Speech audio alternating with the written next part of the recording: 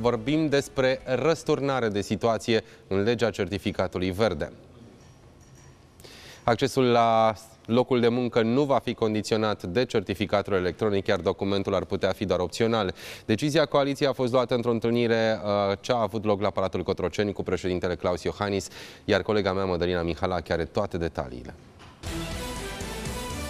Bine v-am regăsit. Răsturnare de situație în privința introducerii certificatului COVID-19 la locul de muncă. Miercuri seară, președintele României, Claus Iohannis, a avut o întâlnire cu liderii coaliției de guvernare, iar în urma acestei întâlniri s-a decis ca certificatul la locul de muncă să nu mai fie obligatoriu, adică să nu se mai condiționeze accesul la locul de muncă de prezentarea certificatului electronic COVID-19, așa cum a fost el denumit în proiectul redactat la Ministerul Sănătății. Sănătății. Președintele Claus Iohannis, potrivit informațiilor noastre, le-a transmis liderilor coaliției de guvernare că nu este momentul pentru a lua astfel de măsuri drastice. Asta și după protestele care au avut uh, loc uh, zilele trecute în fața și în curtea Palatului uh, Parlamentului.